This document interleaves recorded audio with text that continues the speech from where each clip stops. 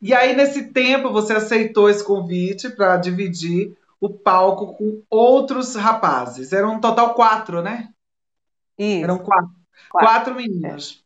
De- Você surge, Adriana e a rapaziada. Em algum momento viraram para você e falaram assim: como assim? Porque tem sempre os machistas, né? Uma mulher sozinha no meio de quatro homens, como assim? Sabe? Chegaram, inclusive, a te insultar em algum momento?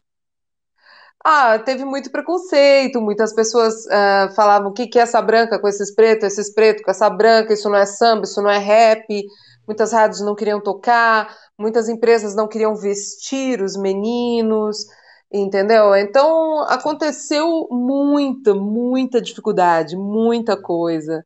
Mas é, é isso que eu tô falando. Quando eh, você passa por tudo isso, vai criando uma casca, você vai ficando triste, você entra numa defensiva algumas vezes, mas quando você amadurece, você percebe que às vezes isso é um momento, a pessoa, nível de compreensão, e tem que ir para frente, porque se o caminho é seu, se é de Deus, você tem que viver.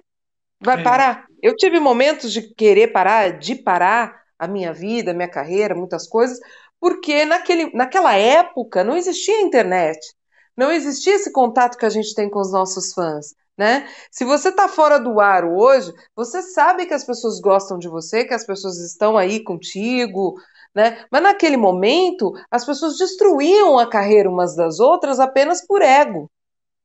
é. Hoje isso é não acontece mais. Não Então, acontece mais.